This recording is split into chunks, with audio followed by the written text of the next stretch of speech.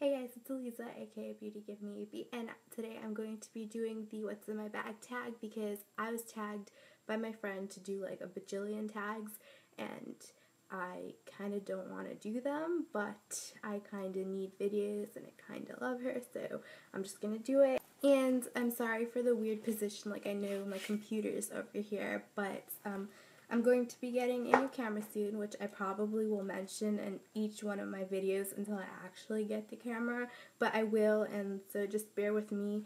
The setup is really weird, but whatever. So this is my bag, and it's just a crossbody MMF bag. Okay, so it has gold studs all on the top, and then you open it. There's a little button thing here, so I'm going to open it, and it has a huge pockets in it like that. Um, so yeah, let's just take out stuff. Okay, so first thing that's coming out of it is the, are these goodie bags. So um, I actually went to a graduation party yesterday night, so I got goodie bags. So they're just stuffed. The guy became a dentist, so I got a toothpaste and mints, and yeah.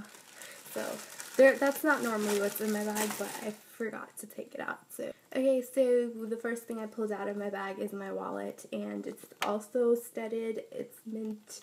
I got it from DSW.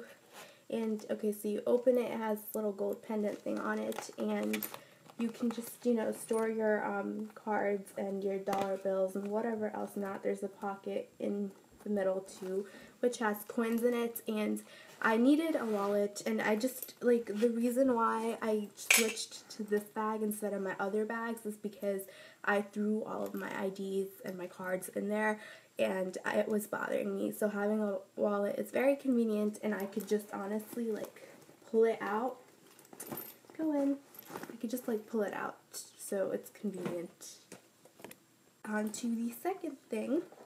I have a hair clip in here because every time I go out, um, if I don't have my hair up, you know, it's very, it, it's convenient to have hair clips or hair ties. I always wear a hair tie on my hand, but I have hair clips in my bag too, just in case I need them. So, so pulling out more stuff. Um, where'd you go? Okay, so the next two things, I actually, it's gonna take me forever. Okay, so the next two things I have are a mini lotion, and this is the Sexy Little Things um, Noir, I don't know how to say that, by Victoria's Secret, and I have the hand body lotion, the scented body lotion, and the little perfume spray in case um, I feel like it's always necessary to have like travel sized lotions and sprays in your bag because you never know when you might need them. And so this is very convenient. So I keep this in my bag all the time. And I actually used it yesterday so it came in handy. So